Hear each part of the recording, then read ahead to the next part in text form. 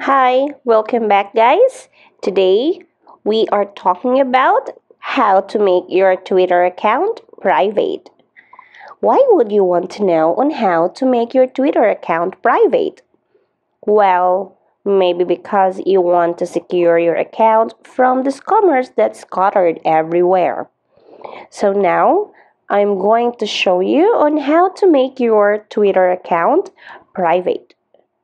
First, if you don't have your Twitter account or Twitter application, just download it from your Play Store or your App Store and then sign in to your Twitter. Now, to start our tutorial, let us open our Twitter account here. And then, once you're done signing in here, guys, you can now see your homepage. This is your homepage. And the rest icon here below. Now let's check first if our account is already private or not.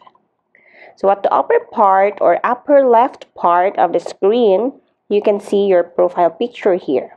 This one.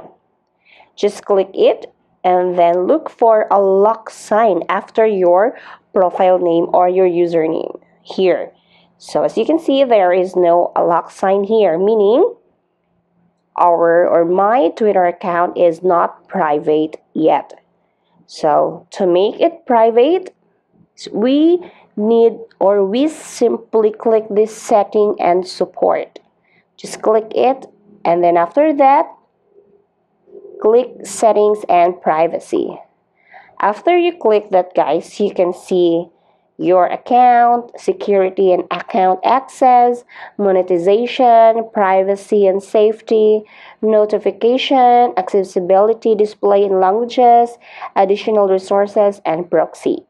So you start or you click this privacy and safety to make your pri account private.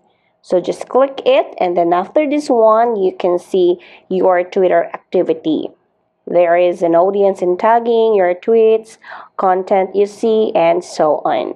So to complete these steps, just click this audience and tagging and then protect your tweets. Only current followers and people you approve in the future will be able to see your tweets.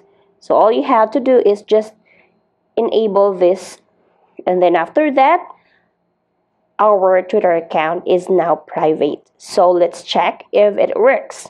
Let's go back to our profile and let us see if there is a lock sign here. Alright, there you go. This is on how to make your Twitter account private. So, if you want to know on how to make your Twitter account private, that's the easiest way I know. And if you know another way on how to make your Twitter account private, just leave a comment below and be sure to subscribe. Bye guys!